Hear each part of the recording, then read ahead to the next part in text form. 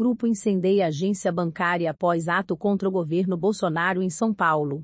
Manifestação contra o governo ocorreu de forma pacífica por quase todo o trajeto, que começou às 15 horas e 30 minutos em frente ao MASP, na Avenida Paulista.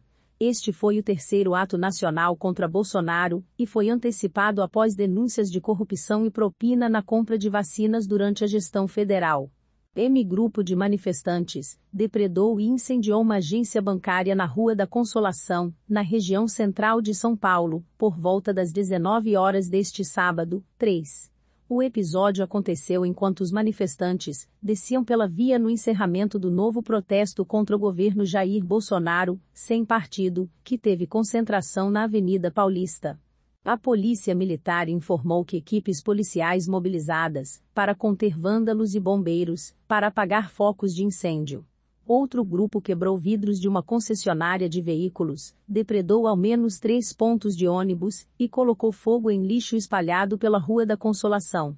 Policiais militares usaram spray de pimenta e bombas de efeito moral para dispersar o grupo de pessoas que estavam provocando as depredações. Um segurança da Via 4 e um policial ficaram feridos no confronto com os manifestantes. Os manifestantes usaram pedras, pedaços de pau, gradis, rojões e até bicicletas para atacar os policiais. A fachada de uma universidade também foi danificada na Rua da Consolação. Por volta das 21 horas, a Polícia Militar informou ter localizado e prendido uma pessoa que teria participado da agressão aos seguranças da Via 4. Segundo a corporação, ele estaria com o capacete usado pelo segurança.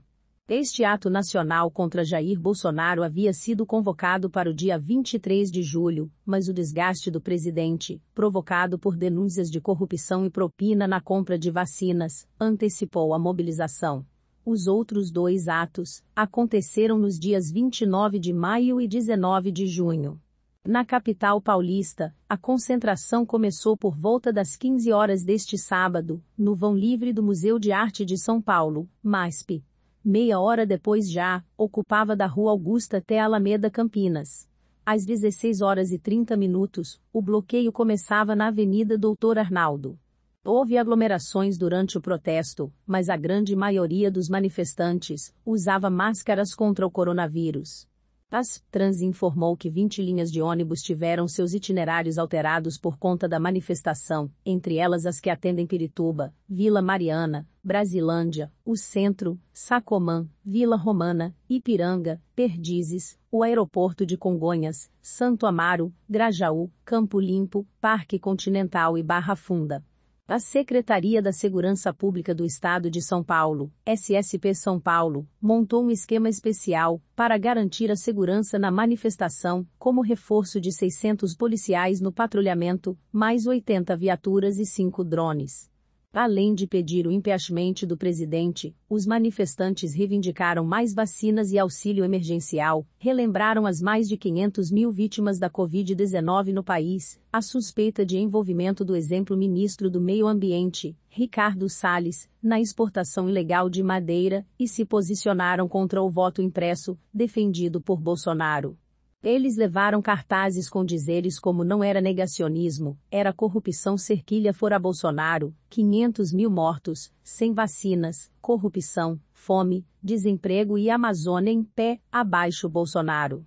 Bolsonaro, o exemplo ministro da Saúde, Eduardo Pazuello, o líder do governo na Câmara, Ricardo Barros, PP, o vereador Carlos Bolsonaro, republicanos, e o presidente do Congresso, Arthur Lira, PP, foram representados por bonecos de papelão, caracterizados como presidiários. Os manifestantes também estenderam grandes faixas com as cores vermelha, e também verde e amarelo, sendo uma de 10 metros x 2 metros com os dizeres fora Bolsonaro, essa bandeira é nossa, e carros de som se posicionaram ao longo da Paulista, sendo o principal em frente ao MASP. Um bloco feminista, organizado pelas covereadoras da bancada feminista do PSOL, mandato coletivo na Câmara Municipal, criticou ainda as falas machistas e misóginas e a condução desastrosa da pandemia, que fez com que aumentassem os índices de feminicídio, violência doméstica e desemprego entre mulheres. A campanha Fora Bolsonaro é uma iniciativa da Frente Povo Sem Medo, da Frente Brasil Popular, de todos os partidos de esquerda, das centrais sindicais, do movimento negro, de entidades de estudantes, movimentos sem teto, ONGs e outros movimentos populares, todos eles signatários do superpedido de impeachment. Na sexta-feira, 2, o PSDB confirmou a reportagem que também fortaleceria a manifestação, com a presença de 2 mil filiados. No ato também compareceram representantes do PT, PDT, CDOB, PSTU, PSOL e PCO.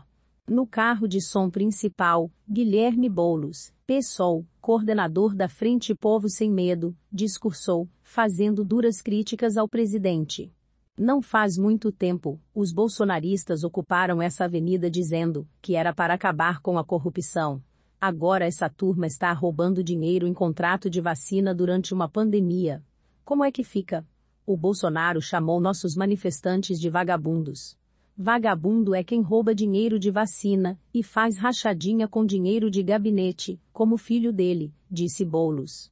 Também pediram a palavra a presidente nacional do PT, Gleisi Hoffmann, e o exemplo prefeito Fernando Haddad, que se dirigiu a Jair Bolsonaro e a Arthur Lira em um discurso inflamado.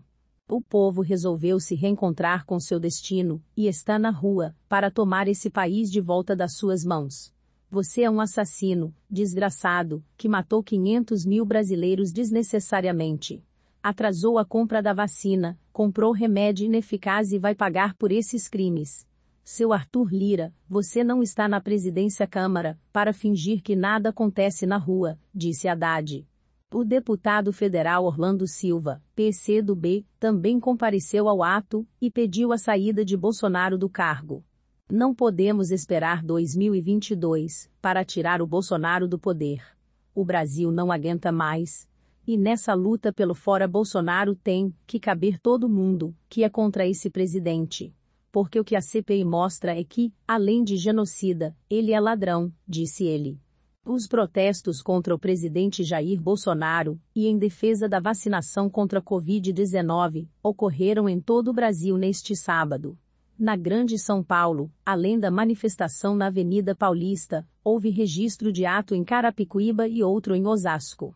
No interior do estado, manifestantes realizaram protestos em São José dos Campos, na região do Vale do Paraíba, nas regiões de Sorocaba e Jundiaí, em São Carlos e Araraquara, em Araçatuba e em Jales, em Franca e Ribeirão Preto, em Campinas e em Piracicaba, em Bauru e no Alto Tietê. Todas as manifestações foram pacíficas, e a maior parte dos manifestantes usou máscara e manteve o distanciamento social devido à pandemia. Se inscreva para acompanhar a cobertura completa dessa notícia e de muitas outras.